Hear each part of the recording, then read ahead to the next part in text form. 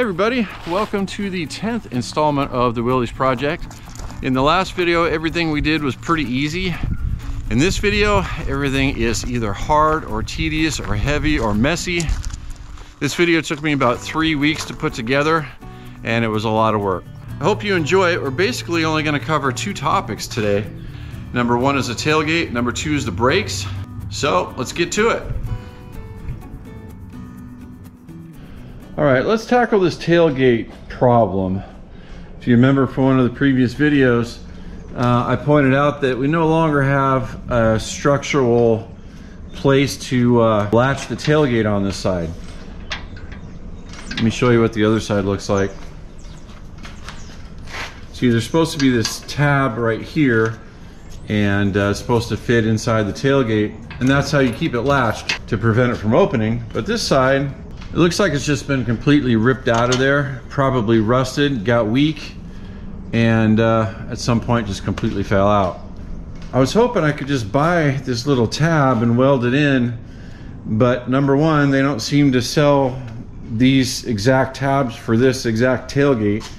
And number two, we have a larger problem than that we can't just weld it in because we have to kind of modify what is here um, before we can weld some new metal in there.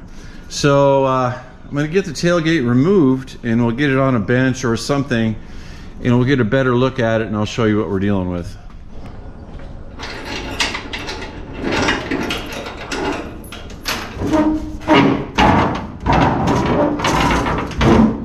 A little stiff right there, huh? Think I can actually fix that also, but let's uh, move on. So this is definitely not your modern type of a hinge or pin situation. This is just a rod from the tailgate going into a piece of metal. There's no bushing, there's no nothing. So in order to get the tailgate removed from the truck, we have to remove this little bracket and uh, the other side has one as well. But of course we only need to remove one side.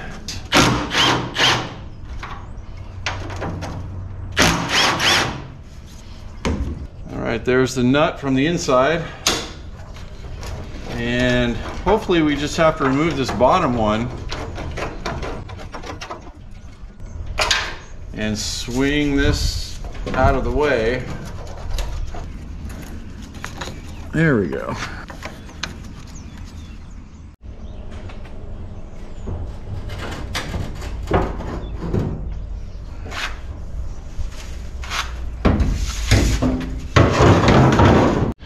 All right, here's the good side. It's kind of a strange design here. This right there is part of the tailgate, and this right there is part of the tailgate. And then there's an opening in there that runs down the whole thing. As you can see, there's a cavity up in there. Inside that cavity, they slipped this little bracket and looks like they welded it on somehow on the inside. Clearly that was done at the factory.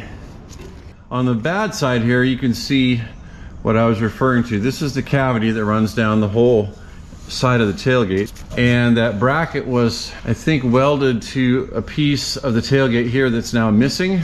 I guess the only way I'm gonna be successful at this is to, for sure, cut off this jagged piece right here so it's at a 90 degree angle, something we can actually work with. And maybe even this piece here I don't know. Let me go see what kind of metal I have in stock and uh, we'll go from there. Section. All right, I found a piece that I'm happy with for this section right here. It's about the same width and about the same thickness, more or less. And then uh, have to find a piece for here and then we have to fabricate that tab with that oval in it also. I guess we'll start to cutting. I'm gonna cut both of these off. I'll clean up all the rust around so we can weld it and then I'll start making some templates.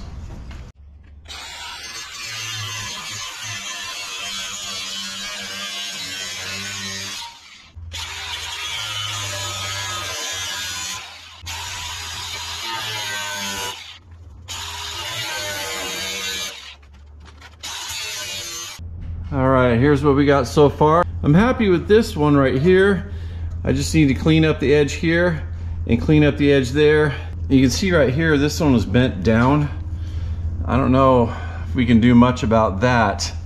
Right in here, it's high on this backside, so I think if I put a hammer to that, that might raise that up a little bit. It's not a critical thing, but as long as we're doing it, we might as well try it. Well, after about two and a half hours, I got my pieces cut out. Um, this one, of course, took the longest. But I made it out of one of those pieces of flat stock. I, of course, made the template off of this one over here.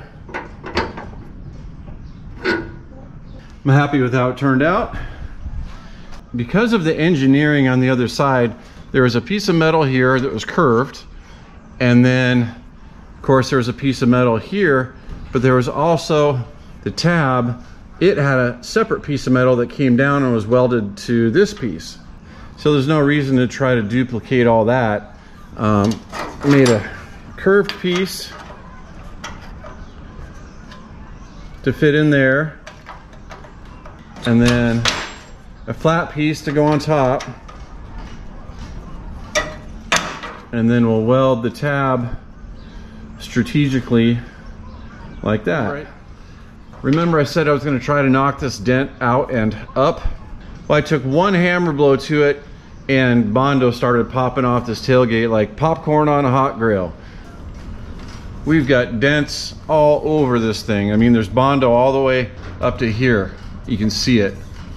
Um, I hate to be a pessimist, but this tailgate is pretty much beyond repair. If this is gonna be a patina truck, we can work with this tailgate. But if we're gonna put a shiny paint job on it make it look pretty, this tailgate isn't gonna work.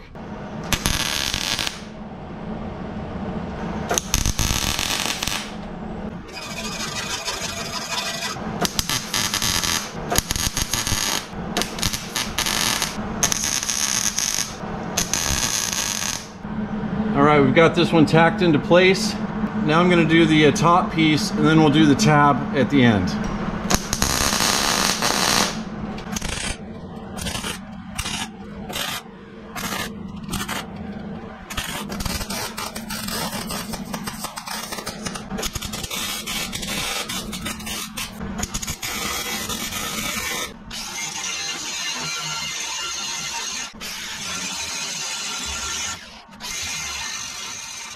After a lot of uh, welding and grinding, here's what we got so far.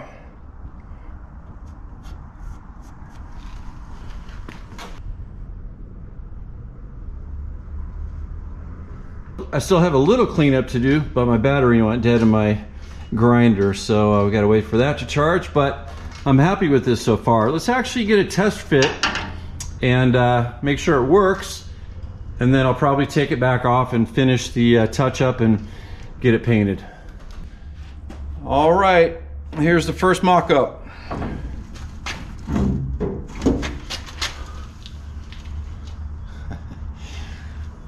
Uh, I gotta give myself credit here. I really think I nailed it. And here we are on the front side. I don't think I could have gotten it any better than that. I ground down most of the welds, and like I said, I'm still not done doing that. I still have to finish it a little bit more. It's a little bit rough. If you remember, this is all new metal. From this corner to here, down to there, and then over there. And on the inside here, this is all new metal also from here to there, down the corner, and then right about there, out to there, and of course the tab, that's all fresh metal. Like I said, I got a little more cleanup to do, but I am very happy with that. So these are the old chain hooks from the tailgate, and this is one of the sides here. The chain is pretty ratty and rusted, so uh, I'm not going to reuse this. I've already got some new stuff, but I kind of like the shape of these old hooks. I can't find a modern equivalent of this, so I think what I'd like to do is try to use the new chain with the old hooks. But we've got a couple issues here. Number one, they're all rusted up and, and crusty. That's no big deal. I can throw them in Evapo-Rust overnight and they'll be good to go. But you can see this one, we've got some issues. It makes you wonder what kind of force this sustained to get to that shape. You know, this is pretty thick stuff. I'm gonna do my best to recreate this shape. And if I can get it, then great. But if not, then we'll have to uh, go with plan B.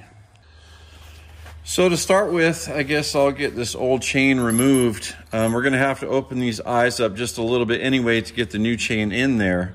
So we'll get this removed and then uh, we'll try to get this hook reshaped.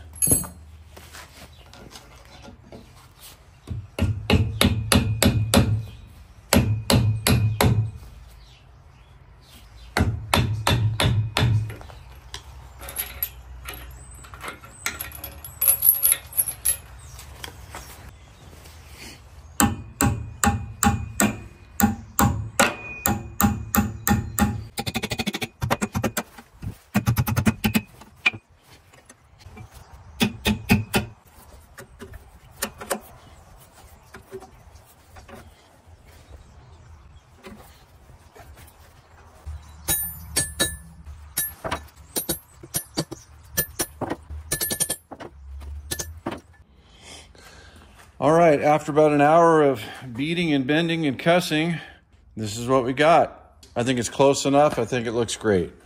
Um, I've got both of the eyes opened up to accept our new chain. So we'll leave those open for now. So now we're gonna soak them in the Evapo-Rust overnight. So let's see what happens. Okay, it's the next day. The Evapo-Rust did its job. It removed all the surface rust and uh, we're ready to assemble the chain. I've already got it cut to length. So we're just gonna put it on one end.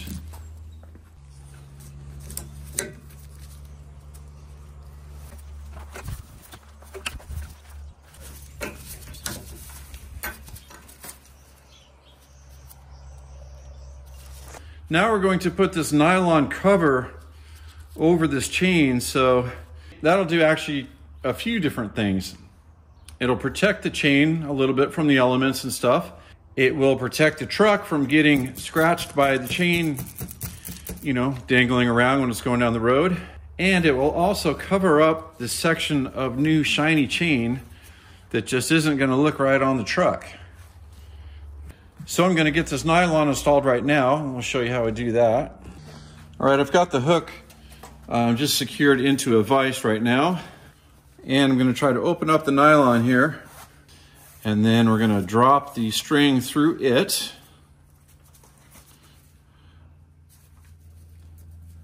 And hopefully we'll see it come out the bottom here in a minute. There it is. Now we can pull the nylon all the way up the chain to where the hook is. I like to have extra so it kind of scrunches up on there like that. Now we can grab the chain and we can take this whole thing back over to uh, the workbench. Okay, let's get the string removed. And here's our open chain link. This is the part that's gonna latch onto the truck. So we're not gonna latch this yet, but we're gonna get it on and get it ready to latch. All right, so there's the piece. And I want to do one more thing before we put it on the truck. You can see the nylon has some frayed ends on it. Well, we're just going to uh, melt it around the ends. That will get rid of all the frayed ends. And it will also um, shrink the diameter of the nylon just a little bit. And it will also prevent it from fraying. All right, that's good. Let's do this side the same way. All right, let's go see how it looks on the truck.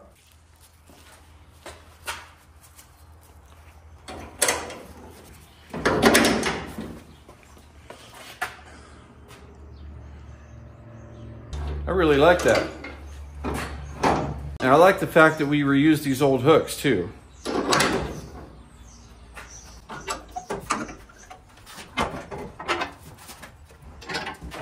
I made the chains a certain length. So when the tailgate is open, it sits flat level with the bed and you can use it as a workbench or work surface or carry long lumber in here or whatever.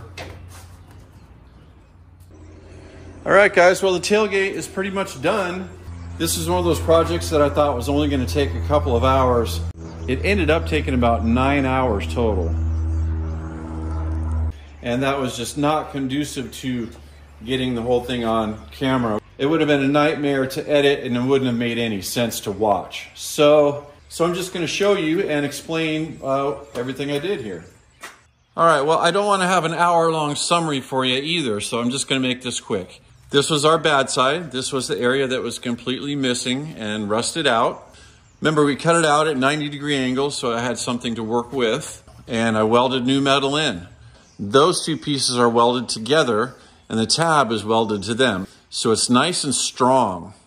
I chose a gauge of metal for the patch panels here that kind of matched what was already existing on the tailgate. As you can see, this is a thinner one, and this is a thinner one, but the uh, tab is thicker. I did that intentionally uh, because that's kind of how it was before if you look at the thickness here of the tab, you can see it's pretty much like the uh, factory original one. As far as the paint goes, first I shot it with red orange colored primer, starting on our new metal here, and then I went all the way down. On top of that, I put a light coat of white.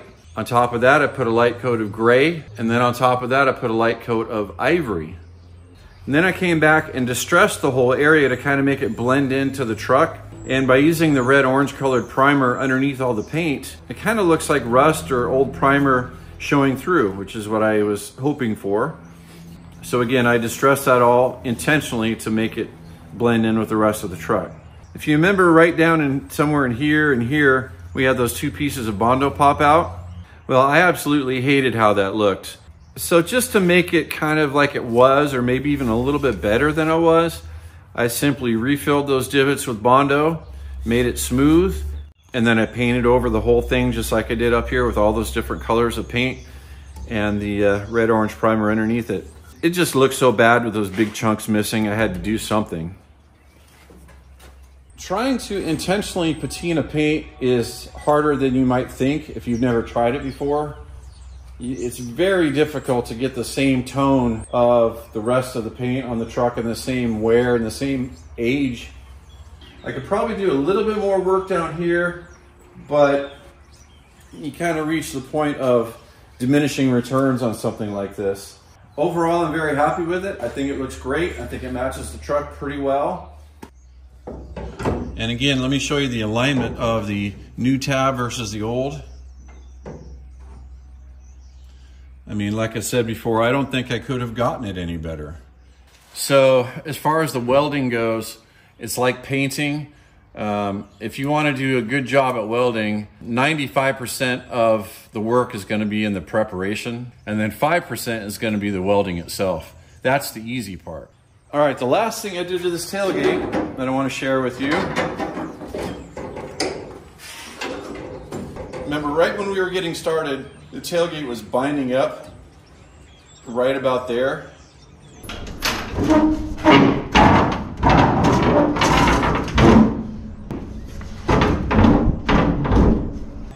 Making all kinds of noise and it was kind of hard to get past that point. I got that fixed also.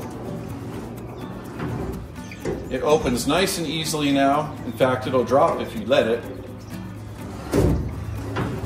Doesn't make the noise anymore, doesn't bind up.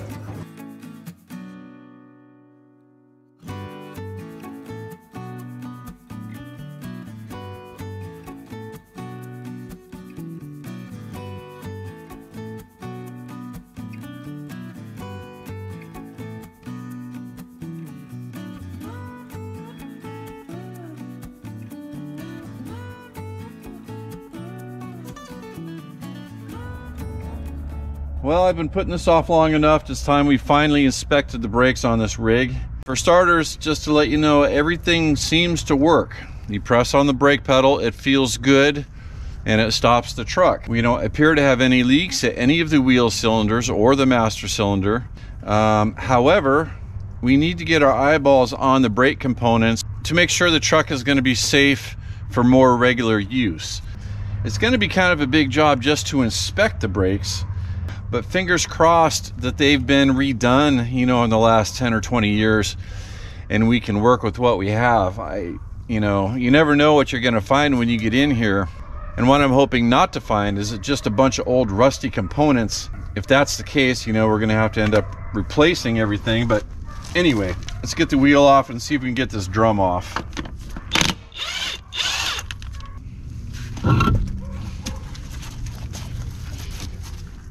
Well, the rubber line between here and the wheel cylinder looks to be semi okay. It's still kind of pliable.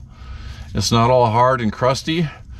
And maybe this has actually been replaced in this century. That would be good. But you can tell over here where the rubber connects to the uh, metal line, this is clearly not from this century. That's most likely the original metal line that came with the truck. That'd be my guess anyway, judging on. So I've got the wheel off. Now we need to figure out how to get the drum off. Uh, for starters, need to remove this cap.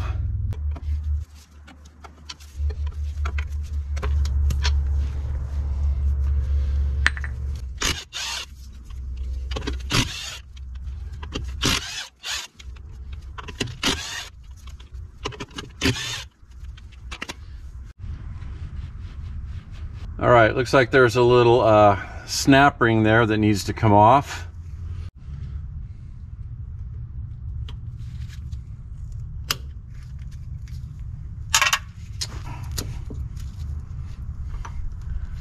I guess that's all one piece there. Take a look at this. Look how boogered up this nut is. I mean, we got some major chunks uh, taken out of this nut. Clearly, somebody in the past has not had the right tool and they were just using like a, a punch or a screwdriver and a hammer to remove that nut. Wow, that is not a very good way to do that. There's actually a, uh, a washer underneath this nut that's folded up right there. So we'll bend that washer down flat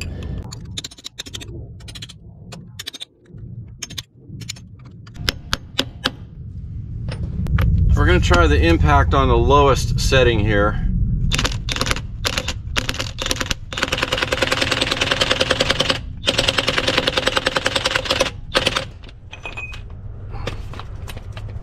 This is a special tool, by the way, um, that you absolutely need for this job. If you don't have this, it's gonna be super hard to get that nut off. As you can see, that's why it's damaged. Like I said before, somebody has not had this tool in the past and really just boogered up this nut. There's another nut in there and it's loose. Interesting design.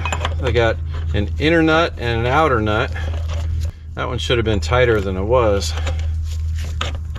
Okay, there's the inner. For whatever reason, this one isn't boogered up. I think that must be it.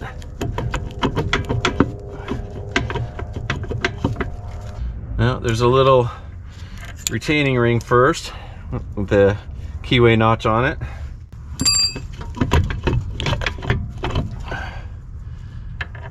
Yeah, come on, come on. All right, mission accomplished. First impressions are good so far, just by a glance. As long as we're in here, we're gonna make sure these uh, six bolts on the backing plate are tight. I just have it on the lowest setting on the impact, so it's not like we're really trying to ram these in. I just wanna see if they're tight or not. That one's tight. That one's tight. Okay, good. Those are all tight. All right, I'm actually gonna use some brake clean for what it was intended for once. Just gonna hit all the components get the spider webs and the dust and the dirt out.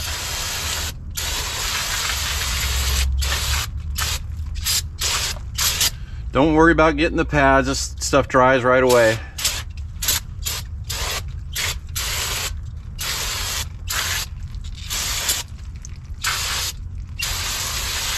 I am pleasantly surprised by what we found so far. Let me get you in a little closer here. First, Look at the thickness of the pads here. There's still a lot of meat left on that. That's very good. Same with this one. A lot of meat left on it. We look at the, the surface of the pads themselves. They look decent. They're not all scored up. Uh, here's the wheel cylinder, 14203 USA. And the boots are actually still pliable. It's hard to say, but just looking by what we have, and uh, also the color of the metal part of the brake uh, pads, you can tell uh, it's obviously oxidizing, but that's not 70 years old. You can tell that there was fresh metal under there in the semi-recent past. So who knows, 10 years, 20 years ago? I don't think it's been any longer than that. And I don't think we have to touch the side. This looks, this all looks good to me. Let's check out the brake drum. Yeah, so we're just feeling for heavy scoring, gouging, anything like that. And uh, I'm not feeling anything at all. If you guys work on as much old stuff as I do, do yourself a favor, get yourself a uh, powered uh, grease gun. Oh my goodness, these things save a lot of time.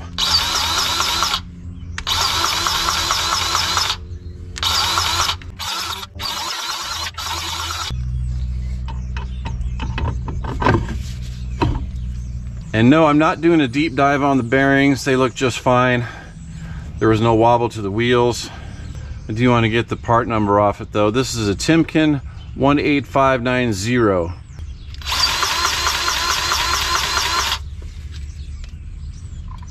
Well, so I'll just jam it full with some new grease and uh, we'll be good to go.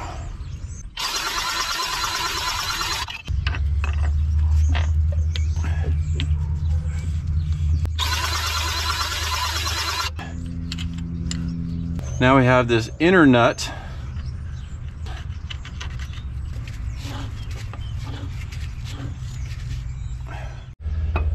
So now listen carefully when I spin the drum. You can hear there's just a teeny little bit of brake pad drag. In my opinion, that's where you want these things, is just to have just a teeniest bit of drag so you know that the brake shoes are adjusted out as far as they can go without being with you know without stopping the wheel. So you just got to kind of get a feel for it. That feels pretty good and then once we get the outer nut on then we need to reach in there with the screwdriver or something and bend up the outer tabs just a little bit and it acts as a kind of a lock washer. All right, here's the outer nut. Um, it's still got boogers in it, but I filed it all down so there's none sticking up anymore, sticking out, and it's just fine to reuse.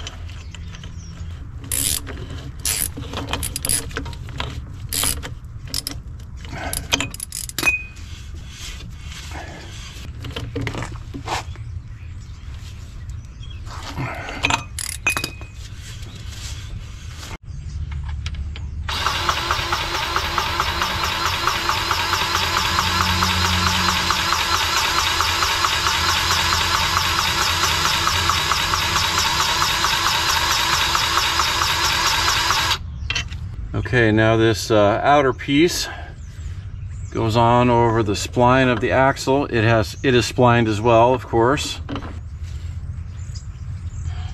This snap ring goes on, kind of keeps the axle in place, sort of, kind of.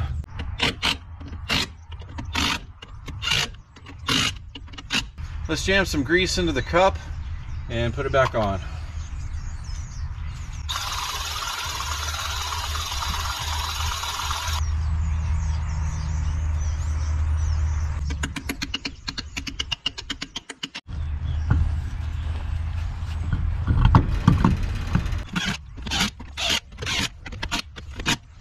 All right, one wheel down, three to go.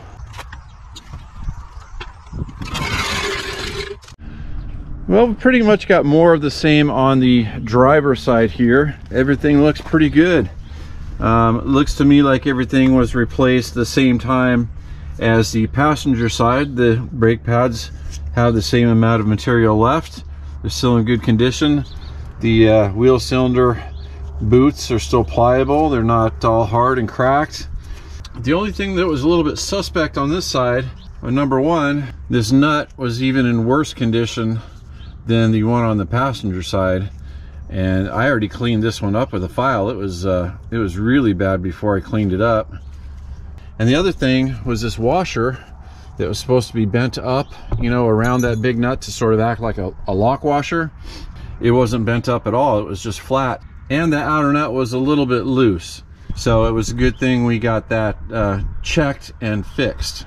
So I'm going to leave everything back up here and put the drum back on and put the wheel back on and then we'll move to the rears. All right, here we are on the passenger side rear. I'm a little worried about this. I think it's going to be more difficult to get the drums off than it was in the front. But uh, let's give this a try. I've already got the cotter pin uh, backed out, ready to go. Need to remove this nut.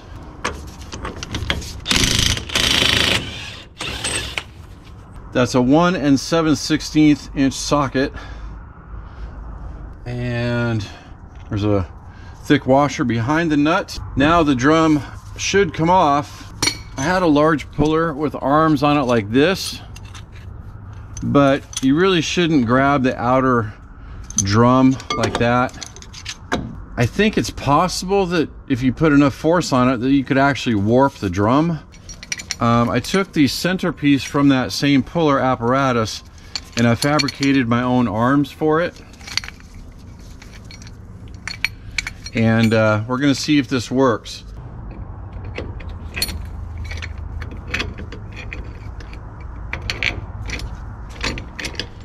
All right, I've got the puller on there and all tight, so let's see what we can do here.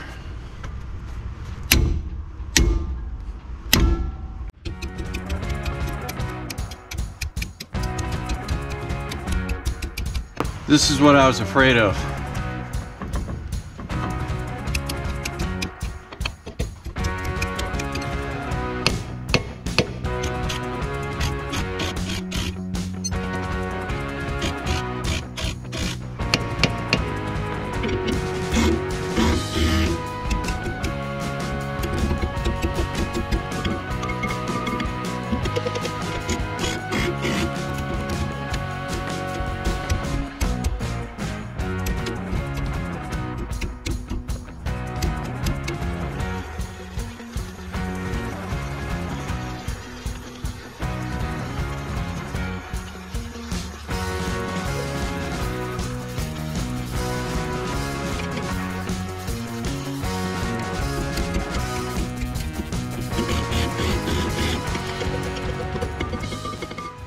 Well, I don't think you guys see me give up very often, but uh, I'm giving up on this. I don't want to uh, break anything. I don't want to hurt myself.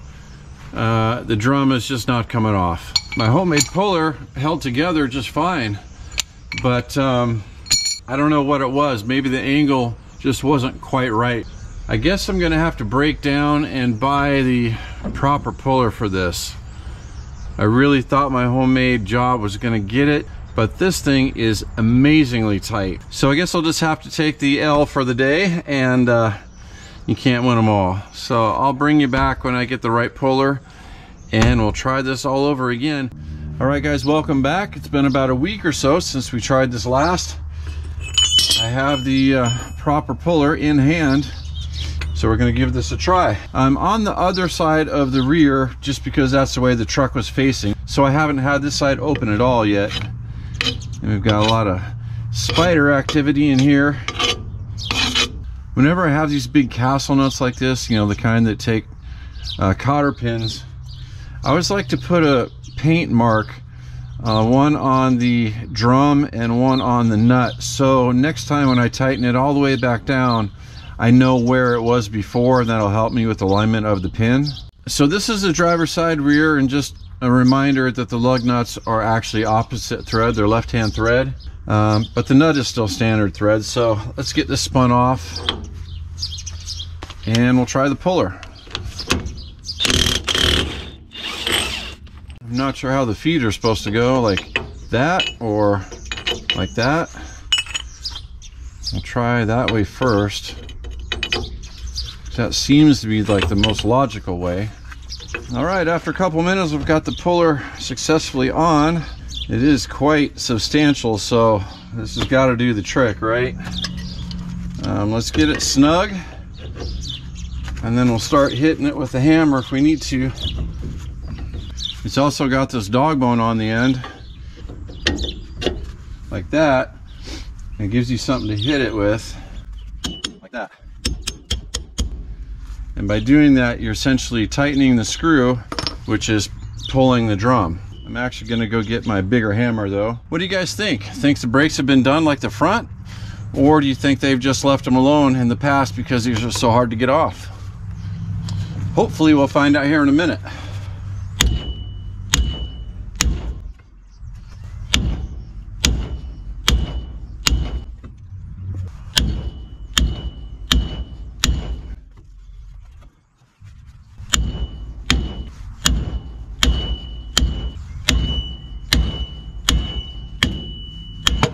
Yeah.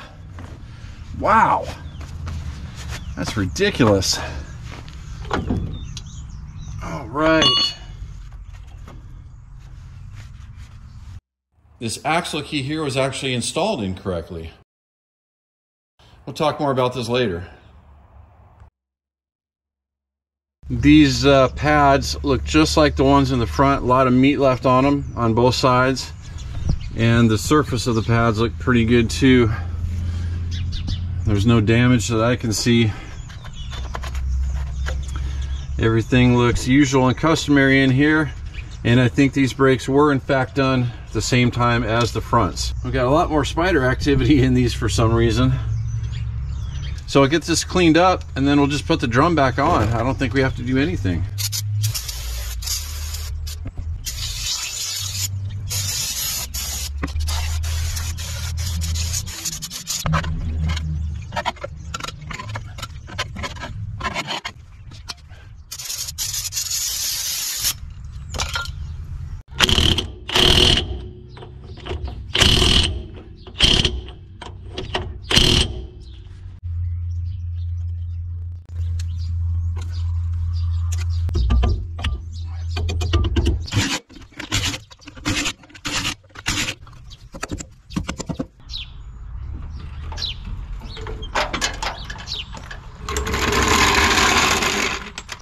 All right, here we are on the uh, passenger side rear.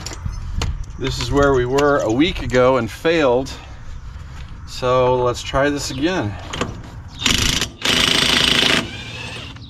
One thing I didn't mention when we got the drum off on the other side is there is an axle key in there. It's about that long. I'll show you when we get it off, but that's the only thing really that you have to get lined up when you put the brake drum back on. You have to make sure that key is in, number one and then you have to get the brake drum aligned accordingly.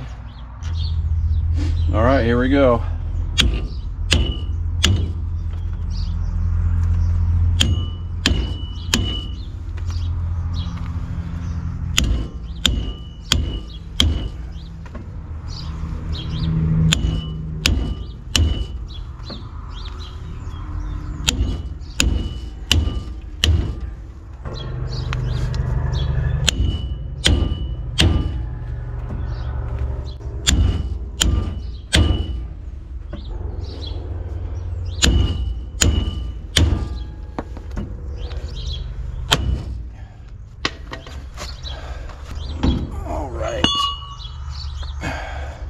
Well, this was definitely the right tool for the right job.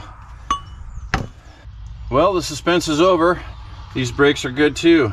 It looks to me like all four brakes were done at the exact same time. I got the same amount of oxidation on the metal, same amount of wear on the pads. Everything looks about right. Um, so before I put the drum back on, let's talk about why these things are so hard to get off in the first place. There's only a nut here and a key, and there's nothing else that's holding it onto the axle, except that there actually is. And the axle itself is tapered. It's a narrow diameter here and it's a larger one towards the inner bearing. And the drum is tapered also, so when you're putting it on there and then you uh, tighten the knot all the way down, you're effectively pressing it back onto the tapered axle. And that taper is what holds it in place for the most part. Of course, the nut is doing its job too. But that's uh, one of the reasons that it's so hard to get off is because you're actually kind of pressing it onto the axle. All right, here's this key that I was referring to on the other side. You can see it's slightly tapered just on the bottom there, going up.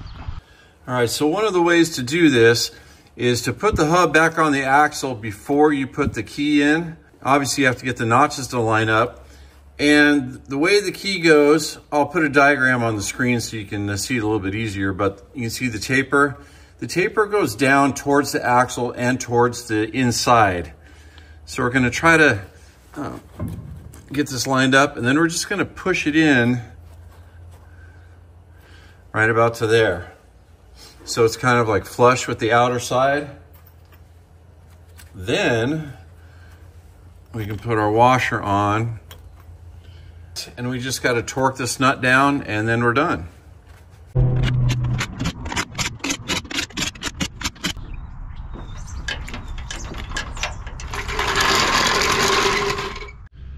So we've got the brakes uh, inspected, checked, serviced, and they are in excellent condition. Uh, thumbs up to whoever did that job in the past. They really did a good job. Except for a couple things here and there, like a couple of those big nuts up front were a little bit loose and they had the axle keys in uh, backwards and upside down. But other than that, they did a great job with the brakes, whoever did it. And that's really good news because that means we don't have to do anything. We don't have to buy any parts. We don't have to do a brake job on it. However, in between this video and the last one, for some reason, the brake lights quit working.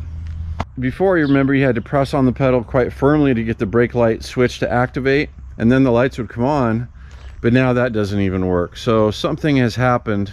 If you remember, I suspected that that brake light switch on the front of the master cylinder might be bad.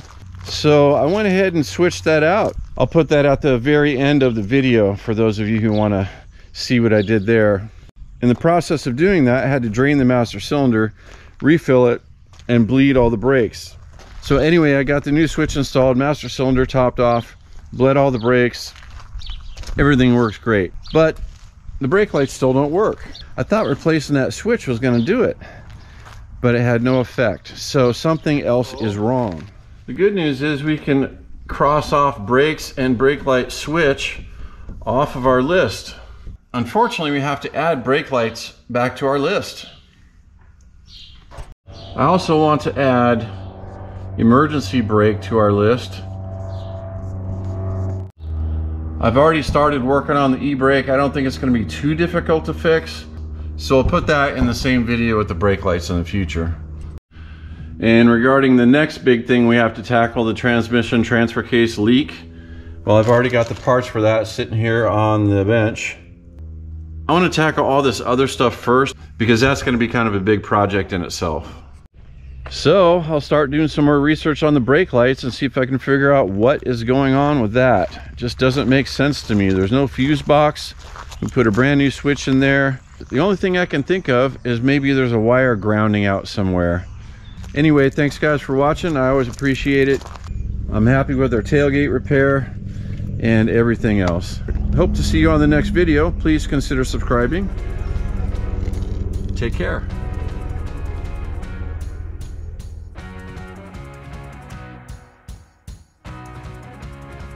All right, here's a few minutes of footage of me replacing that brake light switch. I just captured some of the things that I thought might be interesting, and here it is. All right, I'm underneath the truck now and uh, removed the two wires from the front of the old switch, which is right there. And we're gonna get that removed. Uh, all right, it's the next day now. And again, this is the new switch with the old piece that this is the piece that actually screws into the master cylinder. This piece had these two um, copper washers on here. You can see this one has a larger inner diameter, that one has a smaller inner diameter. The one with the larger inner diameter goes on um, towards, you know, where the nut is. And the one with the smaller inner diameter goes right there.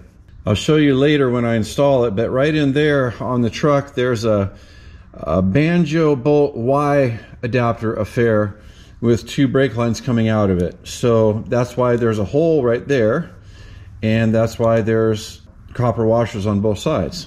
You can't really tell what the thickness of the original washers were because they get crushed, right? A little bit because they're copper. So for example, here's the old and there's the new. I might be overthinking this, but just to be safe, I'm going to anneal both of these new copper washers so we know we're going to get a proper crush on them and uh, we're going to get a good fit with no leaks.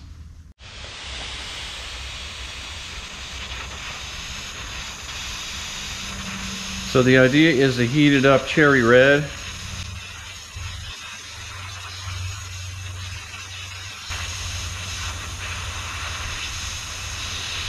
and then let it cool down. That looks pretty good right there. All right, done. Now you can quench this in water or oil, or you can just let it air dry. It doesn't matter how you cool it, it will still be annealed. All right, here's number two.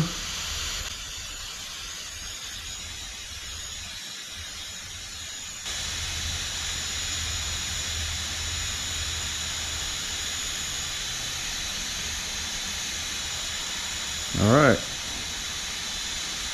Done.